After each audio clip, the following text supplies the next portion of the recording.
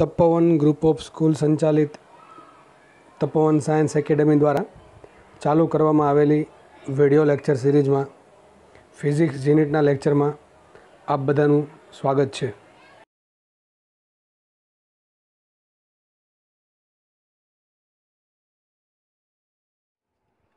હું શૈલેષ કુમાર ઢોલા, તમારા બધા જ લોકોનું ફરીથી નવા લેક્ચરમાં, લેક્ચર નંબર ચારમાં સ્વાગત કરું છું. તો આપણે જે હીટ ટ્રાન્સફરની સિરીઝ સ્ટાર્ટ કરેલી છે, ઉષ્મા પ્રસરણની, તેમાં અગાઉ ત્રણ લેક્ચર અપલોડ કરેલા છે અને ચોથું લેક્ચર આપણે આજે દાખલાની પ્રેક્ટિસ કરીશું. તો જે બી દાખલા આમાં ગણાવીશ, એ દાખલા મોસ્ટલી જીમાં, જી મેન્સમાં અને જી એડવાન્સમાં પૂછાયેલા દાખલા છે. અને દાખલા જે બીજા નથી પૂછાયેલા, એ પણ આમાં મેં એડ કરેલા છે. તો તમે આ દાખલા જો કદાચ તમને વ્યવસ્થિત પ્રેક્ટિસ કરશો તમે. દરેક કોન્સેપ્ટ સમજશો, તો કોઈ પણ દાખલો તમારી સામે આવશે.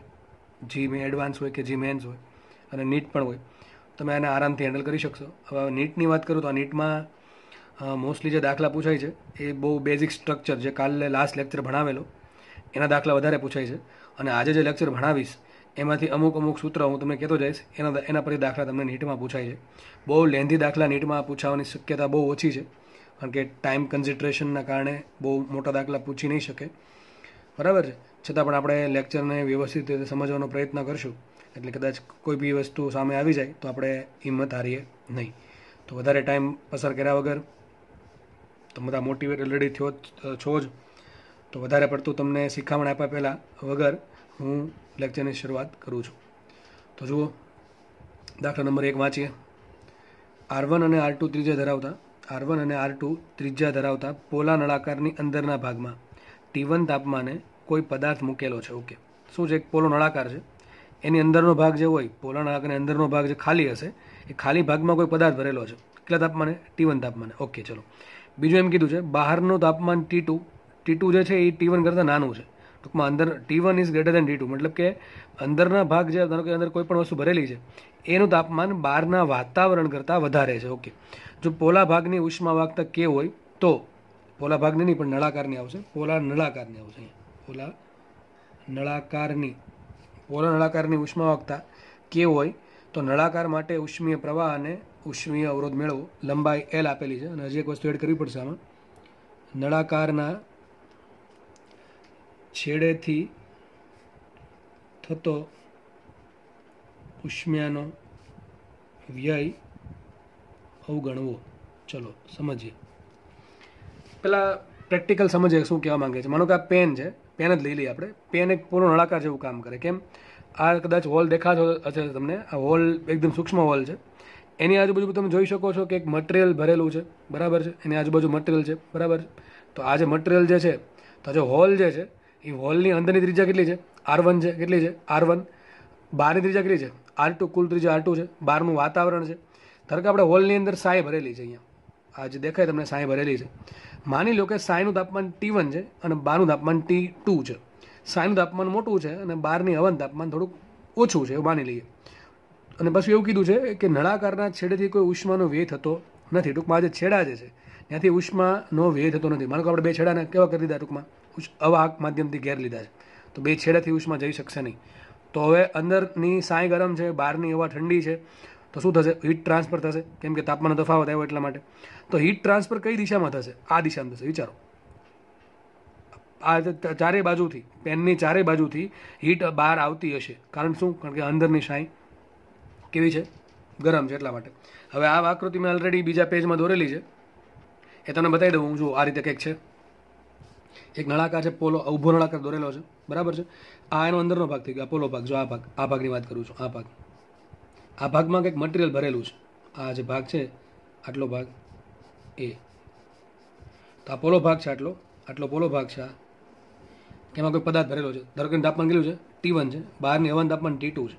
બે છેડામાંથી હવા બહાર સોરી બે બે છેડામાંથી ઉષ્મા બહાર જશે નહીં કારણ કે અહીંયા શું છે આપણે? માનો કે હવા માધ્યમ મૂકી દીધું આ રીતે. તો હીટ જે જાય છે, એ છેડેથી બહાર નીકળી શકશે નહીં. તો બહાર ક્યાંથી આવશે? આ રીતે આવશે. બધી જગ્યાએ બહાર. આ રીતે. બરાબર છે? ચારે બાજુથી હીટ બહાર આવશે. આનો ટોપિયો એ દોરેલો છે. જુઓ. આ પોલો ભાગ છે, ખાલી છે. એમાં કંઈક પદાર્થ ભરેલો હશે. બરાબર છે. આ ત્રીજા તમને આર વન આપી, બારની ત્રીજા આર ટુ આપી છે. બરાબર? આ ટોપ વ્યૂ છે અમે સાઈડ વ્યૂ દોરેલો છે. એનો ટૂંકમાં ક્રોસ વ્યૂ લઈએ, આ રીતે કંઈક ધારો કે નડાકર પડેલો હોય. તો ધારો કે આ ત્રીજા કેટલી આપી આપણને? આર વન આપેલી છે. આ ત્રીજા કુલ આપી આર ટુ હવે જુઓ તમે આજે મેં લાઈન દોરેલ છે, આ એક માનો કોઈ પદાર્થ છે, એનું તાપમાન ટી વન છે. બાર હવા છે ટી ટુ તાપમાન. અને આ જે મટીરિયલ છે, શું છે આ? કોઈ પણ ધાતુનું મટીરિયલ છે આટલું. આ જે વ્હાઇટ કલર દેખાય છે, શું હશે? મટીરિયલ હશે. એ મટીરિયલ જે છે, જો હવા છે એ ડાયરેક્ટ કોન્ટેક્ટમાં નહીં આવી શકે પદાર્થના. કેમ કે પેલું મટીરિયલ આડું આવે છે.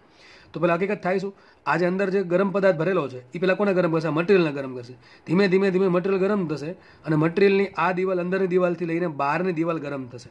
બહારની દિવાલ ગરમ થયા પછી હવા ગરમ થશે. ટીટુ તાપમાને, જો બહાર હવા હોય તો. બરાબર? તો આ પ્રમાણે પ્રોસેસ થશે કે અંદરના ભાગમાં ગરમ પદાર્થ છે, તો ડાયરેક્ટલી હવાના કોન્ટેક્ટમાં આવશે ને પહેલાં જે મટીરિયલ જે છે, નળાકારનું જે પણ મટીરિયલ છે, એને પહેલાં ક્રોસ કરવું પડશે અને પછી પેલો બીજો બહારનો જે કોઈ પણ વાતાવરણ હશે એ ગરમ થશે. તો મને એવું કીધું છે T one is greater than T two એટલે કે ઉષ્મા અંદરના પદાર્થમાંથી બહારના ભાગમાં જશે. કઈ રીતે જશે? આમ જશે, આ રીતે. ચારેય બાજુથી. બરાબર છે? આ પ્રમાણે ચારેય બાજુથી હવા બહાર સોરી હવાની પણ ઉષ્મા બહાર જશે. અને શું આવશે અહીંયા? થર્મલ કન્ડક્શન આવશે. ટૂંકમાં શું આવશે? એચ બરાબર. કે એ ડેલ્ટા ટી છેદમાં ડેલ્ટા એક્સ સૂત્ર આપણે વાપરવું પડશે આ. સૂત્રની વાત કરીએ તો કે શું છે? તો કે આ જે મટીરિયલ જે છે, મટીરિયલ, એની ઉષ્મા વખત કે ચલો, એ તો આપેલી છે. એરિયા એરિયા શું લેવાનું, વિચારો? એરિયા શું લેશો? એરિયા કેવો લેવાનો? હીટ ટ્રાન્સફર એલમ અને હજી તમને થોડો કોન્સેપ્ટ ક્લિયર થાય. એના માટે મેં ઓલરેડી એક નળાકાર બનાવી દીધો છે. જો એક પેજનો યુઝ કરીને મેં નળાકાર બનાવ્યો છે સિમ્પલ તો જો આ માની લો કે આ પ્રમાણે નળાકાર છે. તો આ આ જે ખુલ્લો ભાગ છે, આ અંદરનો ભાગ હોલ હોલ જે છે એ હોલમાં કંઈક મટિરિયલ જે છે અને બહાર હવા છે, તો આ જે મટિરિયલની જે ઉષ્મા જે છે, એને બહાર આવવું છે આ રીતે. તો આ પ્રમાણે બહાર આવશે. જુઓ, સમજ પડે છે? આ પ્રમાણે બહાર આવશે. ચારે બાજુથી બહાર આવશે. અથવા આમ આડો નળા કરતો આ પ્રમાણે બહાર આવશે. પેનની ડાયરેક્શન પર ધ્યાન આપો. બરાબર? આ પ્રમાણે બહાર આવશે. ચારે બાજુથી, એક જગ્યાએથી બધી જગ્યાએથી બહાર આવશે. આ રીતે. તો એરિયા કયો આવશે? આ એરિયા આવશે. આ બધો એરિયા આ જેટલો વ્હાઇટ એરિયા દેખાય છે એ એરિયા થઈ ગયો મારો મટીરિયલને બહાર આવવાનું ઉષ્માને બહાર આવવાનું સોરી એ એ એરિયા કેટલો હોય? તો કે ભાઈ આ શું થઈ ગયું? નળાકારની સપાટીનું ક્ષેત્રફળ. બરાબર? નળાકારની સપાટીનું ક્ષેત્ર શું હોય? એ બરાબર ટુ પાયારેલ શું હોય? ટુ પાયારેલ કઈ રીતે આવે? તો ભાઈ નળાકારનો પરિકિલો થાય? ટુ પાય આર અને ઇન્ટુ લંબાઈ ટુ પાયારેલ અથવા તમે આજે નળાકાર છે એને ખોલી નાખો આખું. શું બની જાય? લંબચોરસ બને. એ લંબચોરસની લંબાઈ કેટલી હશે? એલ અને પહોળાઈ કેટલી હશે? ટુ પાય આર એ રીતે પણ ખબર પડી જાય. તો એરિયા કેટલો આવશે? સપાટીનો. એરિયા આવશે ટુ પાય આર હવે આર શું લેવાનું? તો પ્રોબ્લેમ પાછી ન્યા થાય. આરમાં જો અંદરની ત્રિજ્યા આર વન છે, બહારની ત્રિજ્યા આર ટુ છે. તો જેમ જેમ બહાર જતો જઈશ, જેમ, માનો કે અહીંયા, તો અહીંયા કેટલો એરિયા આવે? Two pi R one L અહીંયા અહીંયા કેટલો એરિયા આવશે? Two pi R two L પણ પ્રોબ્લેમ ન્યા જ છે એરિયા શોધવામાં હવે ત્રિજ્યા વધતી જાય તો એરિયા વધતો જાય. તો એરિયા જો વધઘટ થાય તો એચમાં પણ વધઘટ થાય. ટૂંકમાં આ સૂત્ર જે છે એચનું એ નિયમિત નથી, અનિયમિત છે. કેવું છે? અનિયમિત. અને તમને ખબર છે, મારું સૂત્ર બનાવેલું કે જ્યાં અનિયમિતતા આવે, ત્યાં શું આવે? સંકલન આવે. શું આવે? સંકલન આવશે. તો આપણે શું કરવું પડશે આપણે? સૂક્ષ્મ કેટલી હીટ જાય છે એ શોધવું પડશે. બરાબર છે? અને પછી શું કરશું સંકલન કરશું. તો મને કુલ એચ મળી જશે. એક દાખલો વ્યવસ્થિત આવડી ગયો. તો આની જેવા ત્રણ ચાર દાખલા હજી બીજા છે. એ તમને આરામથી આવડી જશે. બરાબર છે? તો ચલો જોઈ લઈએ આપણે. તો આપણે શું કરવું પડે? એરિયાને ફિક્સ કરવો પડે. ડેલ્ટા ટી તો ચલો શું થશે? T one minus T two શું થશે? T one minus T two કારણ કે અંદરનું તાપમાન ટી વન છે. બહારનું તાપમાન ટી ટુ છે. ડેલ્ટા એક્સ શું થાય? વિચારો, ડેલ્ટા એક્સ ડેલ્ટા એક્સ શું લેવાનું? હીટને સમાન, હીટને સમાંતર લંબાઈ તો જુઓ.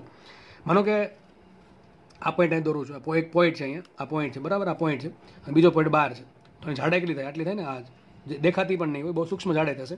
તો જે સૂક્ષ્મ જાડાઈ છે મારા મારા માટે શું થઈ ગઈ લંબાઈ? કારણ કે હીટ આ પ્રમાણે બહાર આવે છે. આ પ્રમાણે. ત્રિજ્યાવર્તી દિશામાં. આ પ્રમાણે હીટ બહાર આવે છે. બરાબર છે? ત્રિજ્યાવર્તી દિશામાં.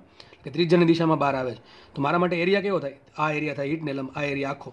આવો આખો. પાયર સ્ક્વેર નહીં હો. પાયર સ્ક્વેર તો અંદરનો એરિયા થઈ ગયો. આ પાયર સ્ક્વેર નહીં. પણ આ એરિયા થશે આવો. આખો. આ સરફેસનો આખો એરિયા બરાબર છે? અને એલ શું થશે? તો એલ થશે, તો મારા માટે ડેલ્ટા એક્સ શું થાય? તો ડેલ્ટા એક્સ હીટ આ પ્રમાણે બહાર આવતી હોય અહીંથી. તો આ જે મટીરિયલની જાડાઈ છે, આ મટીરિયલની જાડાઈ, એ મારા માટે થશે ડેલ્ટા એક્સ હવે તમને ખબર છે, હું જેમ જેમ દૂર જતો જઈશ, એમ ડેલ્ટા એક્સ વધતું જશે ને એરિયા વધતો જશે. તો સૂત્રમાં કે અનિયમિતતા અનિયમિતતા હોવાના કારણે શું કરવું પડે? સંકલન કરવું પડશે. સંકલન કરવા માટે પહેલાં શું કરવું પડે? સૂક્ષ્મ ભાગ ભાગ ધારવો પડે. ચલો આપણે ધારી લઈએ. ધારો કે સેન્ટરથી હું એક નાનકડો નળાકાર ધારું છું. નાનકડો નળાકાર ધારું છું. નળાકાર પ્રમાણે ધારો કે નળાકારની ત્રિજ્યા છે, ધારો કે સ્મોલ આર કેટલી છે? સ્મોલ આર નળાકારની જાડાઈ, આ જે જાડાઈ જે છે, નળાકારની જાડાઈ, એ છે ડીઆર હું તમને સાઈડ બતાવી દઉં છું. તમને કઈ રીતે છે? આ પ્રમાણે છે. નળાકારના સેન્ટરથી નળાકારના સેન્ટરથી આર ત્રિજ્યા અને ડીઆર જાડાઈનું એક મેં નળાકાર નળાકાર એક ભાગ ધારો બરાબર છે. તો આપણે કામ કરશું.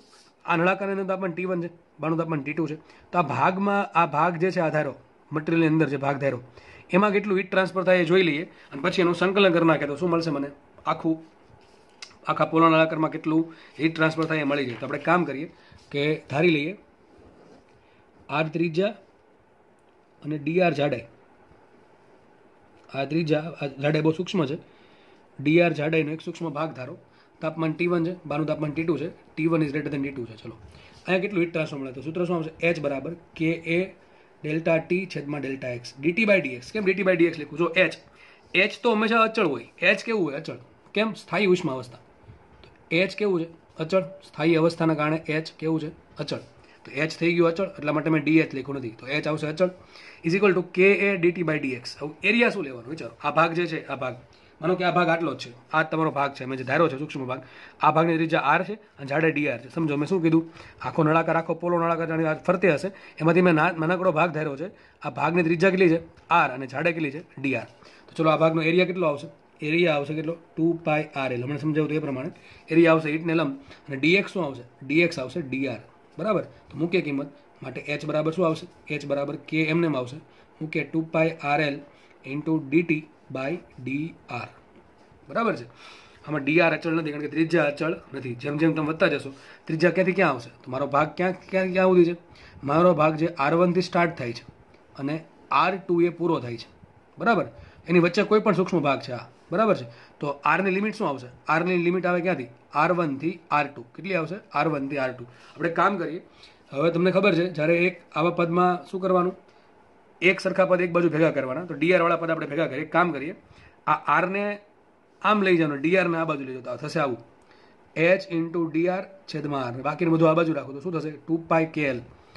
Two pi K L into DT DT શું છે? તાપમાનનો તફાવત. બરાબર? હવે બે બાજુ લિમિટ મૂકી એટલે વાત પૂરી થાય. તો સંકલન કરી દઈએ. સંકલન ડીઆર ભાગ્યા R is equal to two pi K L અને સંકલન ડીટી આ ટુ પાય કેલ અચળ છે, એટલે બહાર આવી ગયું. અહીંયા એચ પણ અચળ છે, એટલે પણ બહાર આવી જશે. તો થઈ જશે છેલ્લે આવું. સંકલન ડીઆર ભાંગ્યા આર બરાબર two pi K L into સંકલન ડીટી ડીટી શું છે? તાપમાનનો તફાવત. જે નળાકાર ધારો છે, એની અંદરના ભાગમાં તાપમાન ટી વન છે, બહારના ભાગમાં તાપમાન ટી ટુ છે. તો લિમિટ મૂકું ટી વનથી ટી ટુ બરાબર? અને અહીંયા લિમિટ શું આવશે? આરની લિમિટ આર વનથી આર ટુ તો આ પ્રમાણે થશે આપણે આગળ વધીએ. તો જો માટે એચ ઇઝ ઇક્વલ ટુ હવે એ સંકલન થાય છે વન અપોન એક્સનું આ પ્રમાણે તમને લખાવેલું છે કે વન અપોન એક્સ ડીએક્સ અથવા ડીએક્સ ભાંગી એક્સનું સંકલન શું થાય? એલન એક્સ શું થાય? એલએન એક્સ એચ એમને રહેશે અને અહીંયા વન અપોન આરનું સંકલન આર સાપેક્ષ થાય એલએન આર તો અહીંયા આવશે એલ એન આર બરાબર છે? અને લિમિટ શું આવશે એની? આર વનથી આર ટુ લિમિટ આવી આર વનથી આર ટુ અહીંયા આવશે ટુ પાય કેએલ અને અહીંયા આવશે લિમિટ કોની? ડીટીની લિમિટ શું આવશે? સોરી ડીટી ડીટીનું કોઈ નથી એટલે એકનું સંકલન શું થાય? ટી થાય. લિમિટ આવશે ટી વનથી ટી ટુ આ પ્રમાણે થશે. માટે મુખ્ય કિંમત. માટે એચ એમ એમ રાખીને એ શું આવશે? એલ એન એક વખત આવશે R two minus L N R one આવશે. Is equal to two pi K L into હવે તાપમાન તમે લખો ને T two minus T one લખું T one minus T two લખું? એ મહત્વની વાત છે. એક્ઝેક્ટલી જોવા જઈએ આપણે, તો હકીકત લખવું પડે T two minus T one પણ હું તમને એમ સજેશન કરું છું કે આગળ એક સૂત્ર તમને ખબર તો આગળ માઇનસ આવે. સૂત્ર શું એક્ઝેક્ટલી એચ બરાબર minus K DT by DX પણ માઇનસ આપણે લીધું નથી. એવું માની લીધું છે કે ડીટી આપણે જે મૂકશું, ધન મૂકશું, તો આપણે અહીં શું મૂકશું? T two minus T one મૂકશું T one minus T two મૂકશું? એ ડિપેન્ડ કરે આપણા રકમ પર. રકમમાં શું કીધું? T one is greater than T two એટલા માટે હું શું મૂકીશ અહીંયા? T one minus T two મૂકીશ. ભલે લિમિટ હકીકત મૂકવી પડે T two minus T one પણ મેં તમને કીધું હતું, તમારે ધન મૂકવું હોય તો આગળ માઇનસ લખવાનું નહીં. તમે જો T two minus T one લખો તો તમારે આગળ માઇનસ લખવું પડશે. બરાબર? તો આપણે આ પ્રમાણે આન્સર આવી ગયો. માટે એચ બરાબર એચને કરતા બનો એચ બરાબર શું થાય? એચ બરાબર two pi K L કાઉન્સમાં T one minus T two અને છેદમાં L N R two minus L N R one તો આ મારો જવાબ આવી ગયો. તો આ તમે સૂત્ર યાદ રાખી શકો છો. કે એક નળાકાર જે છે, એ નળાકારના પોલો ભાગમાં મેં કંઈક વસ્તુ ભરી દીધી. નળાકારના બે છેડાને ફિક્સ કરી દીધા. એટલે કે અહીંયા કંઈક માધ્યમ ગોઠવી દીધું અવાક માધ્યમ. તે છેડામાંથી કોઈ વસ્તુ બહાર આવી શકતી નથી. તો જે હીટ બહાર આવશે, ક્યાંથી આવશે? એની સાઈડની જે સરફેસ છે, આખી, એમાંથી હીટ બહાર આવશે. હવે આપણે તો એચ મળી ગયું એચ આટલો આવશે. બીજો પ્રશ્ન શું છે? ઉષ્મી અવરોધ શોધવાનો છે. તો સૂત્ર તમને ખબર છે એચ બરાબર શું હોય? ડેલ્ટા ટી બાય આર શું હોય? ડેલ્ટા ટી બાય આર તો ડેલ્ટા ટી અહીંયા છે. તો બાકીનું બધું પદ ક્યાં જવા દઉં? છેદમાં. તો નામ લખાશે એચ બરાબર T one minus T two એમ લખી નાખું, છેદમાં શું આવશે? L N R two minus L N R one અને એની છેદમાં શું આવશે? Two pi K L answer ખાવાન જોડે.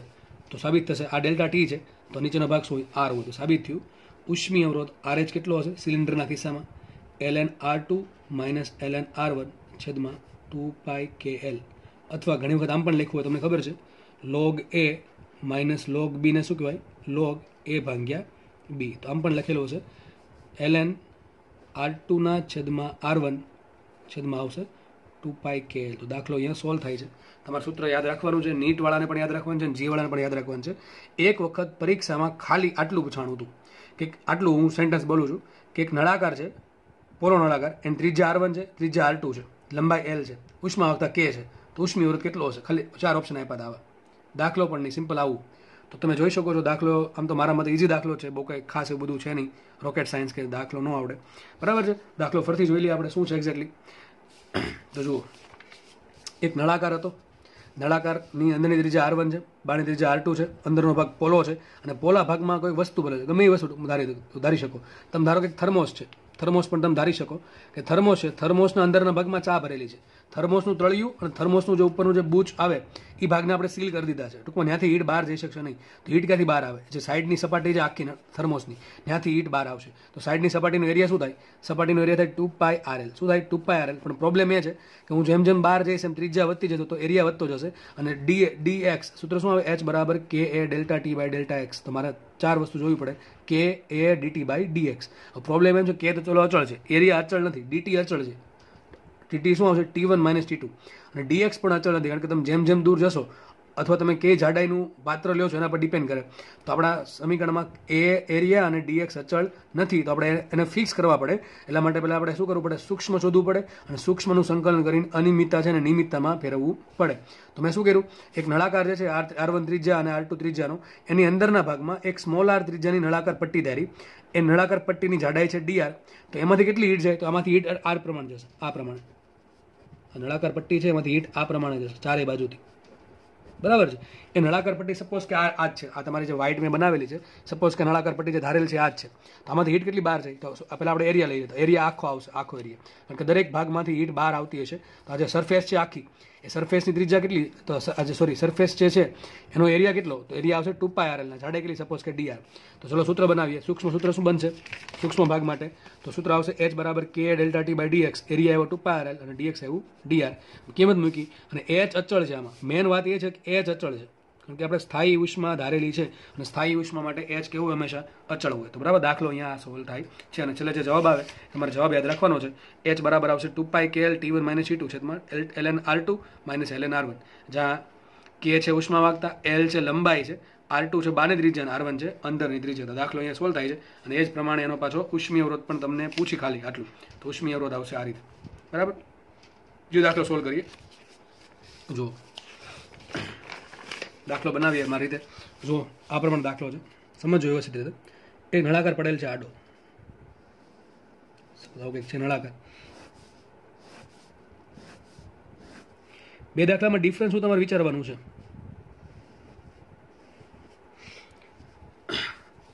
નળાકારની અંદર કાંઈ નથી ભર્યું. પહેલી વાત દઉં. નળાકારની અંદર કાંઈ નથી ભર્યું. આ નળાકાર જે છે, માનો કે, એનો અંદરનો જે ભાગ છે એ માનો કે ફેરસનો બનેલ છે, લોખંડનો. ઉષ્મા વખતા કેવન છે? સમજો વ્યવસ્થિત રીતે. એની ત્રીજા આર વન છે. દાખલા નંબર બે છે આ. એની ત્રીજા આર વન છે. ઉપર જે નળાકાર છે, માનો કે કોપરનો બનેલો છે. ટૂંકમાં એક પાઇપની ઉપર બીજી પાઇપ ચડાવેલી છે. તો આ કોપર છે, બરાબર? આ પ્રમાણે ધરકે દર્શાવી દઉં આ આ રીતે. આ ભાગ જે છે, એ કોપરનો છે. અહીંયા ઉષ્મા વાગતા છે કેટુ હવે આ છેડો છે આ છેડો છે આ છેડો છે, આ છેડો. એને ગરમ કરું છું ટી વન તાપમાને. અને આ છેડો છે, એનું તાપમાન ટી ટુ થાય છે. તો હવે ઈટ ક્યાં વહેશે આમ, વિચારો. આગળના દાખલામાં શું હતું? કે ભૂલી ગયા. આગળના દાખલામાં ઊંધું હતું, જો, દોસ્તો. આ રીતે હતું. અંદર કંઈક વસ્તુ ભરી દે, અહીંયા. અને હીટ આ પ્રમાણે જતી હતી. અહીંયા ઊંધું છે.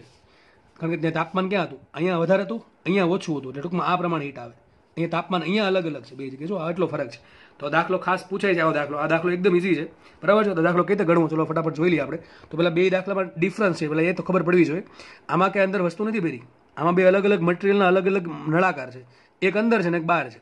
તો ધારો કે અંદર ફેરસનો નળાકાર છે, લોખંડનો. એની એની ત્રિજ્યા આર વન છે, ઉષ્માવાહકતા કે વન છે. એની ઉપર કુલ આર ટુ ત્રિજ્યાનો હું કોપરનો કે ટુ ઉષ્મા વાહકતા ધરાવતો નળાકાર મૂકી દઉં છું. અને આ બેનો જે કોમન છેડો જે છે, આ આ છેડો કોમન એને ટી વન તાપમાને રાખું છું. અને બીજો જે છેડો છે, એને ટી ટુ તાપમાને રાખું છું. અને કન્ડિશન લઉં T one is greater than T two આનો ફ્રન્ટ વ્યૂ જોશો તમને આવું દેખાશે ફ્રન્ટ વ્યૂમાં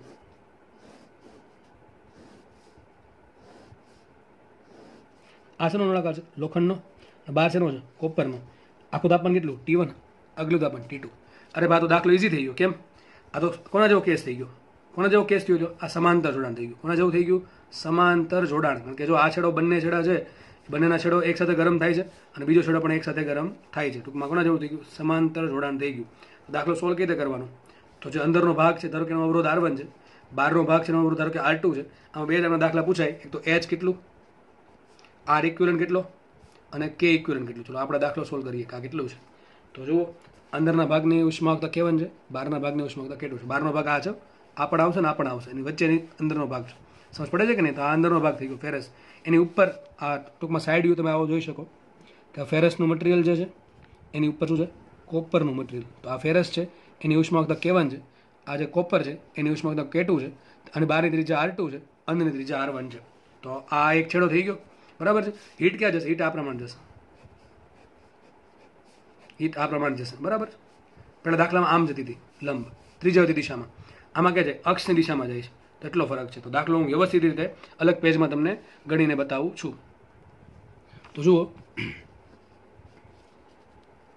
દાખલો ગણવા માટે આપણે શું કરશું? બેના અવરોધ શોધી નાખશું. આર વન ને આર ટુ તમને ખબર છે એચ કઈ રીતે મળે? એચ બરાબર સૂત્ર શું આવે? ડેલ્ટા ઈ છેદમાં, ડેલ્ટા ટી છેદમાં આર ઇક્વિલન્ટ અને કે ઇક્વિલન્ટ કઈ રીતે મળશે? કે ઇક્વિલન્ટ બરાબર સૂત્ર તમને લખાયું હતું કાલ. એલ ઇક્વિવેલન્ટ છેદમાં R equivalent into area equivalent તો આ પ્રમાણે આપણે દાખલો ગણશું તો આરામથી સોલ્વ થઈ જશે. તો જુઓ. એક નળાકાર અંદર છે. લોખંડનો. પહેલાં એનો વહીવટ કરી નાખીએ આપણે. લોખંડનો જે વહીવટ છે સોરી જે નળાકાર જે છે, એની ત્રિજ્યા કેટલી છે? આર વન ત્રિજ્યા છે. એનો ઉષ્માવકતા કેવન છે, બરાબર છે? અને હીટ આ પ્રમાણે જાય છે. એનું તાપમાન છે ટી વન, બે જડે તાપમાન છે ટી ટુ. ચલો આપણે આના માટે લખીએ અવરોધ આર વન. તો અવરોધ આર વન બરાબર શું થાય? અવરોધ છો ત્રિજ્યા નથી. તો અવરોધ આર વન શું થશે? એનું સૂત્ર શું અવરોધનું? અવરોધ બરાબર આવશે એલ બાય કે તો નળાકારની ધારો કે લંબાઈ એલ છે. એલ છેદમાં એની ઉષ્માવકતા કેવન અને ઇન્ટુ એરિયા એરિયા કયો લેવો આપણે આર છેદનો. જો આર છેદનો એરિયા થશે? આ. આ ગોળાકાર ભાગ કેટલો એરિયા થાય? Pi R square. કેટલો થાય? પાય હું સ્મોલ આર કરી દઉં. ચલો pi small R one square. બરાબર? તો આપણને પહેલો નળાકાર છે પહેલો લોખંડનો નળાકાર છે છે, એની આપણને આર વન મળી ગયો. બીજો નળાકાર આ પ્રમાણે છે. બીજો નળાકાર જે છે અહીંથી સ્ટાર્ટ થાય. આ રીતે છે. બરાબર છે? આ રીતે. અહીંથી અહીંયા મટીરિયલનું ખાલી એટલામાં જ છે. વચ્ચે તો કંઈ શેરી મટીરિયલ એ તો ફેરસ છે. તો નળાકાર સ્ટાર્ટ ક્યાં થાય? આર વનથી સ્ટાર્ટ થાય અને આર ટુ એ પૂરો થાય. આમાં હીટ ક્યાં છે? આ પ્રમાણે જ જાય છે. હીટ તો આ પ્રમાણે જ જાય છે. એનો એક એક છેડો ટી વન તાપમાન છે, બીજો છેડો ટી ટુ તાપમાન છે. મને વિચારો, જે કોપર જે છે આટલા ભાગમાં જ છે, આ ભાગ. આટલાથી લઈને અહીંયા સુધીમાં. આ વચ્ચે, આ જે ભાગ છે, આટલો ત્યાં વચ્ચે આ જે ભાગ છે અંદરનો ભાગ. અહીંયા કોઈ કોપર છે નહીં. અહીં શું છે? ફેરસ છે. તો એને, એનું ક્ષેત્રફળ શું આવે? તમને સાઈડમાંથી જો તો આવું લાગશે. બરાબર? આ કોપર અહીંયા છે ખાલી. આટલા ભાગમાં કોપર છે. તો આ ભાગનો એરિયા શું આ વિચારો. મને આટલો એરિયા જોઈએ છે. આટલો આટલો. આ બેની વચ્ચે. તો આ કેટલો એરિયા થાય આટલો? પાય આર વન સ્ક્વેર આખો કેટલો એરિયા થાય? પાય આર ટુ સ્ક્વેર તો આ કેટલો એરિયા હશે શું કહું છું હું? આ જે અંદરનું ગોળ છે એનો એરિયા શું થાય? પાય આર વન સ્ક્વેર આ જે બહારનું ગોળ છે આખું. એની અંદરનો કુલ એરિયા કેટલો થાય? પાય આર ટુ સ્ક્વેર તો મારે એરિયા જોવે છે કેટલો? ખાલી આ બે વચ્ચેનો. ટૂંકમાં આટલો એરિયા જોઈએ છે. તો એરિયા કેટલો આવશે? માટે એ આવશે. કેટલું? બીજા નળાકાર માટે. બીજા નળાકાર માટે એ કેટલો આવશે? Pi R two square minus pi R one square એટલે કેટલો આવશે? Pi કાઉન્સમાં R two square minus R one લંબાઈ કેટલી આવશે? એલ આવશે. લંબાઈ ક્યાં લેવાની? હીટની દિશામાં. તો હીટની દિશામાં જ થાય છે. અને એરિયા કયો લેવાનો? જો એરિયા થશે આ આ, બરાબર? એટલે ટૂંકમાં આટલો એરિયા થશે. તો બીજા નળાકાર માટે અવરોધ કેટલો આવશે? આર ટુ બરાબર. સૂત્ર શું આવે? એલ બાય કે ચલો એલ એલ તો એનું એલ જ છે? ઓકે ચલો એલ કે કેટલા આવશે એનું? કે ટુ અને એરિયા કેટલો આવશે? Pi કાઉન્સમાં R two square minus R one square તો મને બેના અવરોધ મળી ગયા. આ છે કોનો? ધારો કે કોપર છે કોપરનો અવરોધ. એવું હું ખાલી એક્ઝામ્પલ લઉં છું કોપર દરેક દાખલામાં કોપર આપશે એવું જરૂરી નથી. ધારો કે આ છે અંદરનો નળાકાર ફેરસનો તો અવરોધ મળી ગયા? બે બે અવરોધ છે શેમાં સમાંતરમાં છે કે શ્રેણીમાં છે? વિચારો. શેમાં છે? સમાંતરમાં માર્ગ શ્રેણીમાં. તમે પહેલાં કહી દીધું કે શેમાં આવશે બે અવરોધો?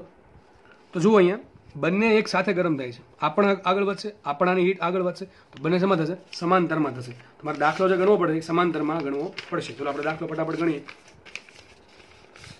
જુઓ. તો આ પ્રમાણે છેલ્લે સાબિત કર્યું હતું આપણે કે લોખંડ માટે અવરોધ કેટલો આવ્યો હતો? એલના છેદમાં કે કે કેટલા છે ને કે વન એરિયા શું આવશે? પાય આર વન સ્ક્વેર અને જે બહારનો જે નળાકાર છે, એની ત્રિજ્યા એનો અવરોધ ધારો કે એલ બરાબર શું આવશે? K two pi R two square minus R one square બંને અવરોધ શેમાં છે? સમાંતરમાં છે. તો શું આપણે મુખ્ય સૂત્ર, સમાંતર અવરોધનું સૂત્ર. R equivalent is equal to one upon R equivalent is equal to one upon R one plus one upon R two મુખ્ય કિંમત તો શું આવશે? વન અપોન આર વન શું આવશે? આખોનું ઊંધું કરીને કરવાનું એટલે શું આવશે? K one pi R one square છેદમાં એલ પ્લસ આનું આખું ઉલટું શું થાય? K two into pi R two square minus R one square છેદમાં એલ. બેનો છેદ સરખો છે એટલે આરામથી તમારો સરવાળો થશે. તો પર એક કામ કરીએ આપણે. પાઈ બાય એલ કોમન કાઢ લો બધામાંથી શું કોમન કાઢ લો પાઈ બાય કોમન કાઢ લો તો શું વધશે? વિચારો. K one R one square plus K two R two square minus K two R one square. આવું વધશે. તો આ શું થઈ ગયું? આનું આખું ઊંધું કરી દઈએ. તો શું બનશે છેલ્લે? હવે બનશે આર ઇક્વિવલન્ટ તો આર ઇક્વિવલન્ટ શું આવશે? એલના છેદમાં પાય કાઉન્સમાં. આરનો વાળા પદ ભેગા કરી દો, શું થશે અહીંયા? R one square કાઉન્સમાં K one minus K two plus K two R two square આ પ્રમાણે બનશે, બરાબર? આ તમારો આર ઇક્વરન્ટ આવી ગયો. ચલો એચ શોધીએ તો એચ બરાબર શું આવશે? એચ બરાબર સૂત્ર શું આવે? ડેલ્ટા ટી છેદમાં આર ઇક્વલન્ટ શું આવશે? ડેલ્ટા ટી છેદમાં આર ઇક્વલન્ટ એટલે કિંમત મૂકીએ. ડેલ્ટા ટી શું આવશે? T one minus T two T one minus T two અને છેદમાં શું આવશે? એલના છેદમાં પાય કાઉન્સમાં શું આવશે? R one square કાઉન્સમાં K one minus K two plus K two R two square તો વ્યવસ્થિત આન્સર આવો આવશે. એચ બરાબર લખીએ વ્યવસ્થિત. તો આ છેદનો છેદ જશે ઉપર. તો શું છે અહીંયા? Pi કાઉન્સમાં R one square into K one minus K two plus R two square into K two બરાબર ને? Into T one minus T two છેદમાં આવશે શું? એલ તો આ તમારો જવાબ આવી ગયો. હજી દાખલો બાકી છે થોડો કે ભાઈ આમાં આર ઇક્વલન્ટ કેટલો હશે? ચલો, એ તો મળી ગયો આપણને આર ઇક્વલન્ટ આટલો હશે. બીજો ક્વેશ્ચન આપણે શું સોલ્વ કર્યો? એચ કેટલો હશે છેલ્લો ક્વેશ્ચન રહી ગયો કે એના માટે કે ઇક્વિવેલન્ટ કેટલું હશે? શું શોધવાનું છે આપણે? કે ઇક્વિવેલન્ટ સોરી તો આપણે હજુ છેલ્લે કે ઇક્વિવેલન્ટ છતાં ફટાફટ ફાઇન્ડ કરીએ. ચલો. તો સૂત્ર શું છે કે ઇક્વેલન્ટનું K equivalent is equal to L equivalent છેદમાં R equivalent into area equivalent આપણે નળાકાર આપણે આ પ્રમાણે હતા. એક અંદર નળાકાર છે, એક એની બહાર છે. તો આપણે શું કરીએ? આપણે જે ડાયાગ્રામ જે છે એને ઇક્વિવેલન્ટ આકૃતિ દોરીએ. તો થશે આવું. આ પ્રમાણે બનશે. અને ત્રીજા લઈ કેટલી પડશે? કુલ ત્રીજા આર ટુ બરાબર? કારણ કે આપણે, તમને કાલે શીખવાડ્યું હતું કે જે જ્યારે એરિયા તમે ઇક્વિલન્ટ શોધો, ત્યારે આખો એરિયા મૂકી દેવાનો, બેઠે બેઠો જેટલો છે એટલો. તો લંબાઈ આવશે કેટલી? એલ અને ટૂંકમાં શું કહે છે? કે ઇક્વિવેલન્ટનો મતલબ શું થાય? કે ભાઈ બે નળાકાર અલગ અલગ છે. એક લોખંડનો છે સપોઝ એની ઉપર તમારો કોપરનો નળાકાર છે. તો બંને હટાવી દો એકને એકને કેવન છે, એકનું કેટો છે બે હટાવી દો એની જગ્યાએ એવું મારી, મીડિયમ મૂકો કે જેની ઉષ્મા વાગતા કે ઇક્વિલન્ટ હોય જે આને સમતુલ્ય હોય. તો આ પ્રમાણે આ આવશે. આ એરિયા કેટલો આવશે? એરિયા આવશે આનો પાય આર ટુ સ્ક્વેર કેટલો આવશે area pi R two square તો મૂકીએ કિંમત કે ઇક્વિવેલન્ટ બરાબર. એલ ઇક્વિવેલન્ટ એલ આવશે. છેદમાં આર ઇક્વિવેલન્ટની કિંમત આપણે અહીંથી મૂકીએ. આર ઇક્વિવેલન્ટ કિંમત અહીંયા છે, જે દેખાય છે તમને. જો આ કિંમત મૂકવાની છે આપણે. એલના છેદમાં પાયવાળી તો મૂકો અહીંયા હું. બરાબર? દેખાય નહીં તો થોડુંક એડજસ્ટ કરી લેવું. શું મૂકું કિંમત આ કિંમત અહીં બેઠી મૂકી દઉં છું. કઈ આવશે? એલના છેદમાં એલના છેદમાં pi into R one square K one minus K two plus K two R two square into into શું આવશે? એરિયા ઇક્વિવેલન્ટ એરિયા ઇક્વિવેલન્ટ કેટલો આવશે? Pi R two square into pi R two square તો આ પ્રમાણે તમે જોઈ શકો છો. એની પાય પાય ઉડી જશે. એલ એલ ઉડી જશે અને આખો પદ ક્યાં જશે? ઉપર. માટે સાબિત થશે. કે ઇક્વિવેલન્ટ બરાબર. R one square K one minus K two plus K two R two square છેદમાં આર ટુ સ્ક્વેર હવે આપણે છેદ ઉડાડ નાખીએ તો સાબિત થશે. કે ઇક્વિવેલન્ટ બરાબર. અહીં શું સાબિત થશે? આર વનના છેદમાં આર ટુ આખાનો વર્ગ into K one minus K two plus K two તો આ તમારો જવાબ આવી ગયો. આમાંથી પ્રશ્ન કેટલી વખત પૂછવાનો છે? આ સૂત્રના આધારિત. તમને શું કહી દેશે આવું? કે એક નળાકાર છે ત્રીજા આર છે, એની ઉષ્મા આવતા કે છે. એક નળાકાર છે, એની ત્રીજા ટુ આર છે આની ઉપર ચડેલો છે, અને એની ઉષ્મા આવતા ટૂંકે છે. તો સમતુલ્ય ઉષ્મા આવતા શોધો. કે કિરણ કેટલા હશે? તો તમે ડાયરેક્ટ ફોર્મ્યુલા યાદ હોય, તો ડાયરેક્ટનો યુઝ કરી શકો છો. અથવા ડાય યાદ ન હોય, તો તમે આ પ્રમાણે ગણતરી કરી શકો છો. અને એક દાખલો આવો મેં તમને લીધેલો પણ છે, પાછળ હમણાં આવશે. બરાબર છે? આ લેક્ચરમાં અથવા આના પછીના લેક્ચરમાં બરાબર? તો આ આ દાખલો આખો એમપી છે. તો તમે જો બે દાખલા ગણ્યા તમને મેં અત્યારે. બે દાખલા કયા કયા? પહેલો દાખલામાં શું હતું? બેનો ડિફરન્સ કહી દઉં એકમાં અંદરના ભાગમાં મટીરિયલ ભર્યું હતું અને હીટ આ પ્રમાણે જતી હતી. અને એકમાં શું કર્યું? બે અલગ અલગ મટીરિયલ છે. અને આ છેડો ગરમ કર્યો, તો આ છેડો ગરમ થશે ટૂંકમાં હીટ આ પ્રમાણે જશે. તો બેમાં જુઓ, ઉપ- ઉપર પહેલો દાખલો જે ગણાવ્યો છે, એમાં હીટ જાય ત્રિજ્યાવર્તી દિશામાં. અને બીજો જે દાખલો ગણાવ્યો છે, એમાં હીટ જશે અક્ષની દિશામાં. એટલે બેમાં એરિયા અલગ અલગ આવશે. એકમાં સપાટીનો એરિયા આવશે અને આમાં એક ગોળનો એરિયા આવશે પાયર સ્ક્વેર બરાબર છે? બીજા દાખલામાં પાયર આર સ્ક્વેર વાળો એરિયા આવશે. અને પહેલો જે દાખલો ગણાય એમાં સપાટીની લંબ રૂપે હીટ બહાર નીકળતી હોય, એટલા માટે એમાં એરિયા આવશે ટુ પાય તો મેન વાત એરિયાની છે. અને આમાં કોઈ અનિયમિતતા હતી નહીં એટલે સંકલન આવ્યું નહીં એટલે સીધું આપણે સૂત્ર વાપરી દીધું, અવરોધ ફાઇન્ડ કરીને. તો આ દાખલામાં શું કર્યું આપણે? અવરોધ આર વન શોધો, પછી આર ટુ શોધો, અને બંને અવરોધનો યુઝ કરીને આપણે દાખલો ગણ્યો. તો દાખલો અહીંયા પૂરો થાય છે. નેક્સ્ટ દાખલાની વાત કરીએ, તો જુઓ. તો આજે જે દાખલા લીધા છે મોસ્ટલી સાબિતીવાળા દાખલા જ છે. અને એક કામ કરશું આપણે.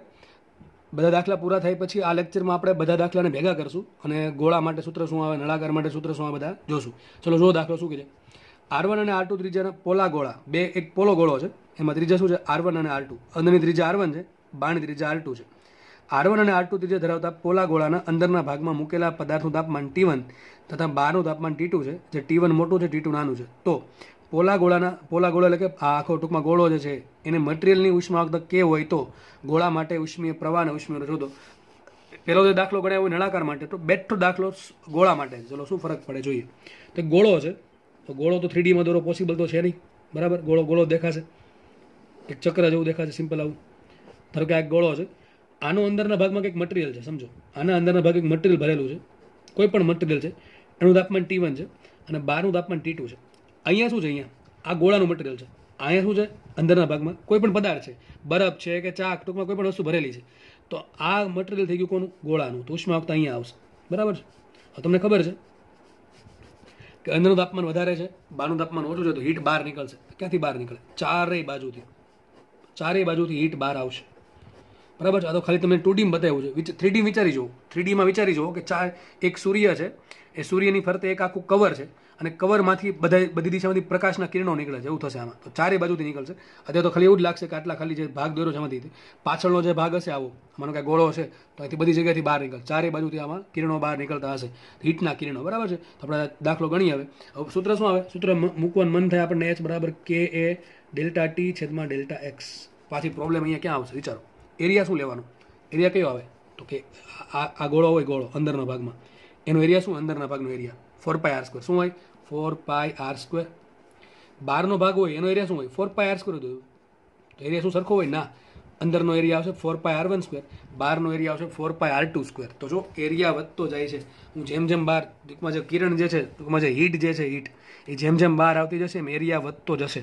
તો ફરીથી પાછું નળાકાર જેવું થઈ ગયું. બરાબર છે? તો આપણે શું કરવું પડશે? આમાં સૂક્ષ્મ ભાગ ધારવો પડશે. સૂક્ષ્મ ભાગ ધારી અને કેટલું તાપમાનનો ફેરફાર થાય છે સૂક્ષ્મ શોધવું પડશે. પછી કરવું પડશે સંકલન, એટલે મારો આન્સર આવી જશે. તો ફટાફટ દાખલો ગણી દઉં. તમને ખબર છે કે શું આપણે ગોળો જે હોય, એ ગોળાનો સૂક્ષ્મ ભાગ શું ધારવાનો? તો ગોળાનો સૂક્ષ્મ ભાગ ધારવાનું એક નાનકડી આડ ત્રિજ્યાની ગોળાકાર કવચ. તો ધારી લો અહીંયા તો આ પ્રમાણે. એક ગોળો હતો. આખો ગોળો આ પ્રમાણે છે. બરાબર છે? માનો, આની અંદરની ત્રિજ્યા આર વન છે. બારની ત્રિજ્યા આર ટુ છે. ધારો કે અહીંયા હું એક આર ત્રિજ્યાની ગોળાકાર કવચ ધારું છું જેની જાડાઈ કેટલી છે? ડીઆર કેટલી જાડાઈ છે? ડીઆર બરાબર? તો ડીઆર જાડાઈની અને આર વન આર ત્રિજ્યાની એક ગોળાકાર કવચ ધારું છું. તો એ કવચનો એરિયા શું હશે? એરિયા હશે four pi small R square કેટલો હશે? Four pi small R square small R ત્રિજ્યાને ધારું છું. અને એના માટે હીટ કેટલી જાય છે? તો ડીએક્સ હશે ડીઆર કારણ કે હીટ જાય છે આ રીતે. સમજો હીટ આ રીતે જાય છે. તો એરિયા કયો એરિયા કયો લેવાનો? કે જે હીટને લંબ છે. હું ખાલી આટલો ભાગ દોર દઉં? આ આટલો. ધારેલો છે. આવું કંઈક થશે. તો અમારી ત્રિજ્યા છે આર અને જાડાઈ છે કેટલી? ડીઆર હીટ આ પ્રમાણે બહાર આવશે બધી દિશામાં. તો લંબાઈ કઈ લેવાની? હીટને સમાંતર તો મારા માટે લંબાઈ થશે આ. તો લંબાઈ શું આવશે? ડીઆર જેટલી. અને એરિયા શું આવશે? ચારે બાજુ માટે આવશે. ફોર પાય આર તો કિંમત મૂકીએ. તો એચ બરાબર આવશે શું? એચ બરાબર કે એ. સોરી કે નહીં.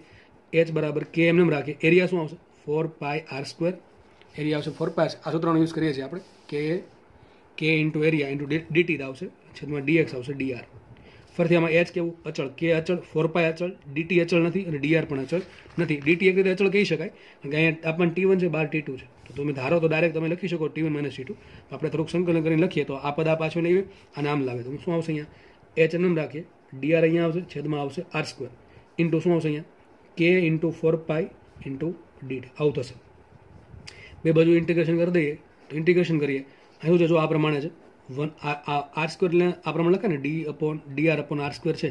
એ શું લખાય? આરની માઇનસ બે ઘાત ને ડીઆર આરની માઇનસ બે ઘાતનું સંકલન શું થાય? તો આરની માઇનસ બે ઘાત ઉપર એક, નીચે પાછું માઇનસ બે પ્લસ એક.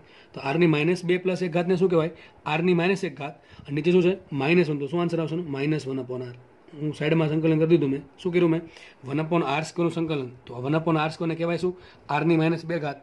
સંકલનનો નિયમ, જેટલી ઘાત છે મેં એક ઉમેરો અને પછી નીચે પછી એટલી એક મૂકો. તો શું આવશે? આરની માઇનસ બે પ્લસ એક છેદમાં નીચે માઇનસ બે પ્લસ એક.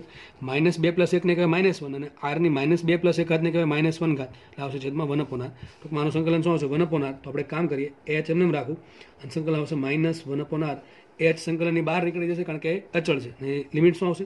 ત્રિજ્યા છે આર વનથી આર ટુ સ્મોલમાં કે કેપિટલમાં જે પણ હોય, આમાં ફોર પાઈ કે કોમન આવશે અને કોઈ ન વધે એટલે એક વધે નહીં. એકનું સંકલન શું ટી સાપેક્ષ કેપિટલ ટી લિમિટ શું આવશે એની? ટી વનથી ટી ટુ તો આપણે મુખ્ય કિંમત આન્સર જો આવું આવ્યું કંઈક, આપણે આવું લખ્યું H કાઉન્સમાં minus one upon R R વનથી R two અને અહીંયા છે four pi K into T limit છે ટી વનથી ટી ટુ લાસ્ટ સ્ટેપ આપણો આ હતું. આપણે કામ કરીએ લિમિટ છોડીએ. એવું ધારીએ તો આપણે આ માઇનસ એક, આમ તો સીધી મૂકી જ દઉં છું. જ્યાં પહેલાં તમને શું દેખાય છે? આર દેખાઈને પહેલાં આર ટુ મૂકો, પછી માઇનસ કરીને આર વન મૂકો. તો પહેલાં આપણે માઇનસ એનું રાખીએ. માઇનસ વન અપોન આરની જગ્યાએ શું મૂકીએ? આર ટુ પછી માઇનસ કરીને માઇનસ વન અપોન આની જગ્યાએ શું મૂકીએ? આર વન અહીંયા શું આવશે? ફોર પાઈ ફરીથી પાછી એ જ વાત. T two minus T one આવે, પણ તમારે જોઈ લેવાનું રકમમાં. ટી ટુ માઇનસ ટી મોટું કોણ છે? ટી વન તો આપણે રકમમાં ટી વન આપ્યું. આપણે શું લખશું અહીંયા? T one minus T two લખશું. હવે તમે જુઓ અહીંયા minus one upon R two minus minus plus one upon R થશે આવું H કાઉન્સમાં. One upon R one minus one upon R two is equal to four pi K કાઉન્સમાં T one minus T two તો વ્યવસ્થિત કરીએ તો શું થશે આને ગુણો અહીંયા થશે R two minus R one છેદમાં આર વન આર ટુ તો આવશે H કાઉન્સમાં R two minus R one છેદમાં R one R two in is equal to four pi K કાઉન્સમાં T one minus T two તો ચાલો સાબિત થઈ ગયું H બરાબર શું આવશે એચ બરાબર આવશે four pi K T one minus T two છેદમાં આખું છેદમાં જશે છે R two minus R one છેદમાં આર વન આર ટુ ઉપર થશે આ રીતે. એચ બરાબર four pi R one R two K into T one minus T two છેદમાં R two minus R one તમારો આન્સર આવી ગયો. ગોળાના કિસ્સામાં આટલો આન્સર આવશે. બરાબર છે?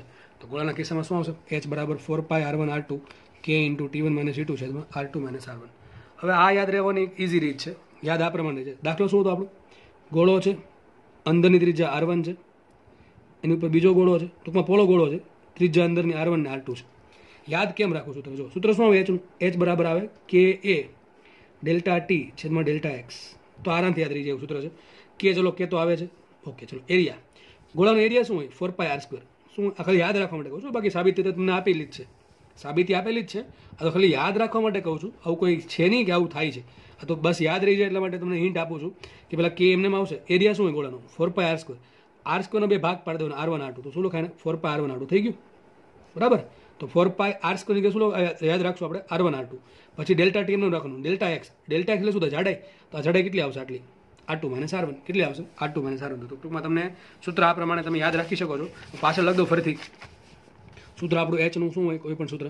કે એ ડેલ્ટા ટી છેદમાં ડેલ્ટા એક્સ તો ગોળાના કિસ્સામાં શું આવશે? ગોળાના કિસ્સામાં આવશે એચ બરાબર. કે એમને રાખીએ. એરિયા શું ફોર પાય આર સ્ક્વેર હોય. પણ એ જગ્યાએ શું યાદ રાખશું આપણે? R one into R two delta T એમને રાખીએ. અને ડેલ્ટા એક્સ શું આવશે? R two minus R one તો આ સૂત્ર થઈ ગયું ગોળા માટે. કોના માટે લાગુ પડશે? ગોળા માટે. દાખલા નંબર ત્રણ છે. દાખલા નંબર ત્રણ તમને કરાવો ગોળા માટે. દાખલા નંબર એક કરાવો તો કોના માટે? નળાકાર માટે. અને આમાં પણ એક વસ્તુ બાકી છે કે આમાં હીટ રેઝિસ્ટન્સ કેટલો છે? ચલો, ટૂંકમાં મારે શોધવાનું છે આર એચ તો આર બરાબર શું થાય? સૂત્ર શું આવે? એચનું એચ બરાબર ડેલ્ટા ટી છેદમાં આર થાય ડેલ્ટા ટી છેદમાં આર ટૂંકમાં તમને કોઈ પણ સૂત્ર એચનું આવે ને, એમાં ડેલ્ટા ટી અંશમાં રાખવાનું. બાકી બધું ક્યાં જવા દેવાનું છેદમાં. તો લખાશે શું આને? એચ બરાબર. ઉપર ડેલ્ટા ટી રાખીએ, એટલે કે ટી વન માઇનસ ટી પણ તમે લખી શકો. છેદમાં શું આવશે? R two minus R one તો છે જ. એની છેદમાં શું આવશે?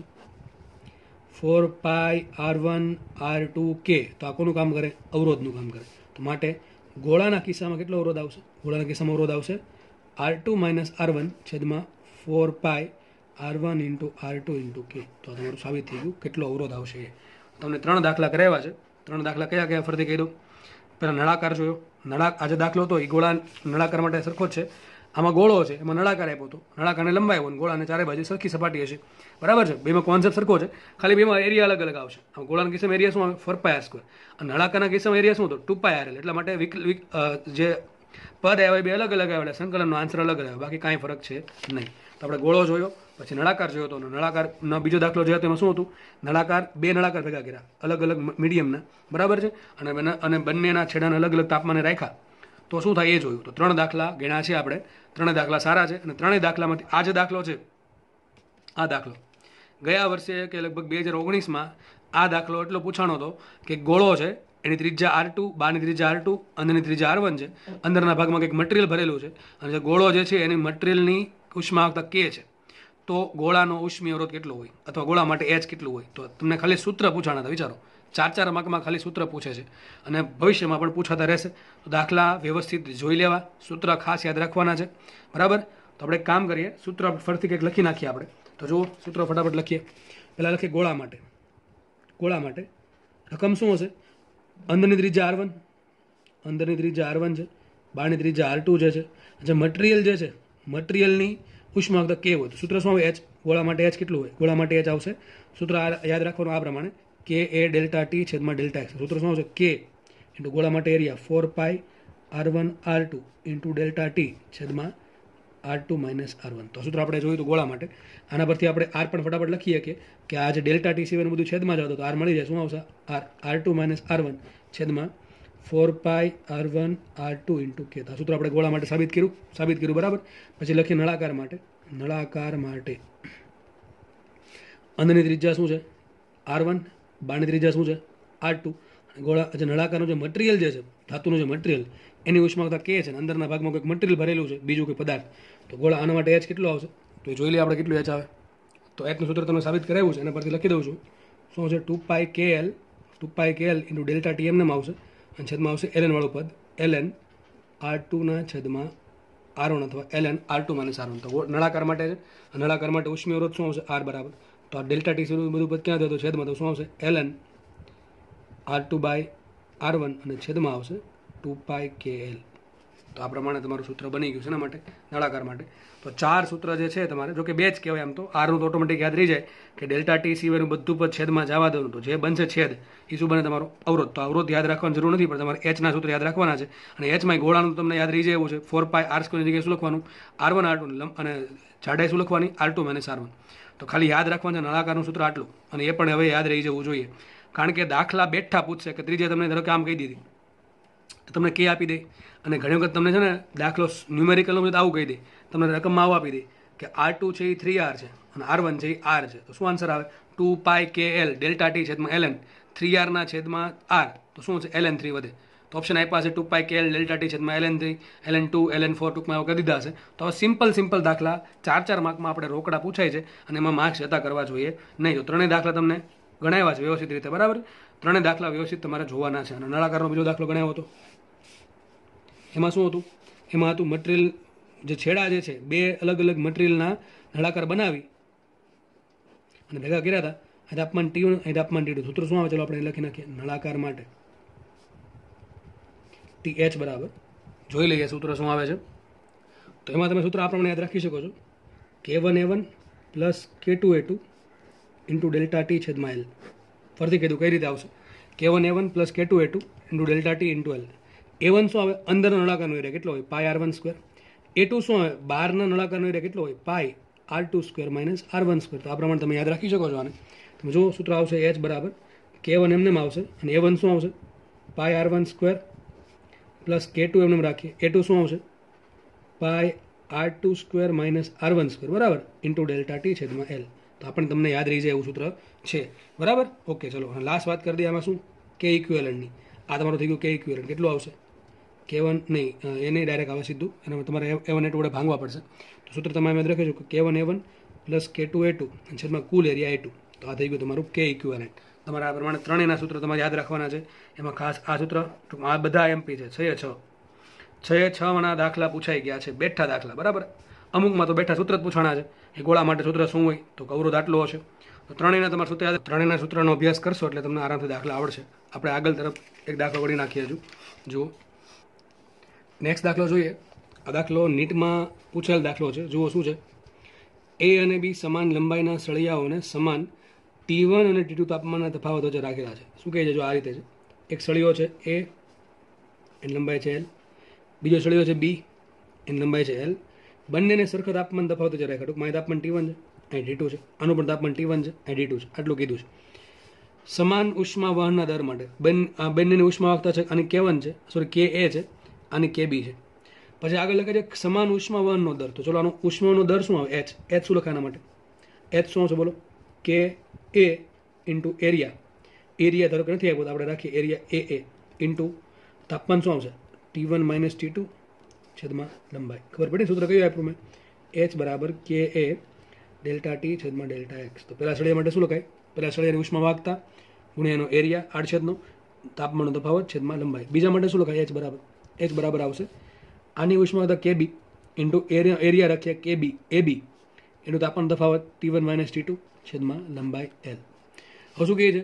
બેની લંબાઈ સમાન આપી છે, પણ બેના એરિયા સમાન જેવું કીધું નથી. એટલા માટે મેં જો લખ્યું છે, અને છેલ્લે કીધું છે, બંનેના આરસીના ક્ષેત્રફળ સ્મોલ એ બી સ્મોલ એ બી આપણે કેપિટલ લીધા છે, વાંધો નહીં. તો આના એરિયા થઈ ગયા આ એની ઉષ્મા થઈ ગઈ. આ બે કેવા છે? સમાન ઉષ્મા વહનનો દર. જેટલું આમાં એચ છે, એટલું જ આમાં એચ છે. તો આપણે એક કામ કરીએ, બેની એચને સરખાઈ દઈએ. લખાશે K A into area A into T one minus T two છેદમાં L is equal to K B into Bino area A B into તાપમાન તફાવત T one minus T two છેદમાં એલ બંને બાજુ બધું T one minus T two ઉડી ગયા. L ઉડી ગયા છે એટલે વધશે. K into A is equal to K B into એ બી તો માંગો શું મને? કે એ ભાંગે કે બી શોધો. તો માટે લખાશે કે એ છેદમાં કે બી બરાબર બીનો એરિયા છેદમાં એનો એરિયા તો આ તમારો જવાબ આવી ગયો. સિમ્પલ દાખલો હતો. તો આપણે આ લેક્ચરને અહીંયા રાખશું. તમારે ત્રણ દાખલા જે ગણાવ્યા આ દાખલા તો બહુ સિમ્પલ દાખલો હતો. તો આની પહેલાં જે ત્રણ દાખલા ગણાવ્યા છે એની પ્રેક્ટિસ કરજો થોડી વ્યવસ્થિત રીતે. એમાં પણ કોઈ પણ સ્ટેપ સમજાય નહીં, તો મહેરબાની કરીને કોમેન્ટમાં પૂછવું અથવા પર્સનલમાં પૂછી લઉં પણ તેને ગોખવાનો પ્રયત્ન કરવો નહીં. અને દાખલા હજી કહું છું, એ જે સૂત્રો લખાવ્યા હતા, એ સૂત્ર, એ તમારું જે પેજ જે સૂત્રવાળું હતું, એ બેઠું પેજ તમારું પૂછાઈ શકે ચાર ચાર માર્કમાં દાખલા. બરાબર છે? તો આપણે આના પછી નેક્સ્ટ લેક્ચરમાં આપણે હજુ દાખલાની પ્રેક્ટિસ કરીશું. Thank you so much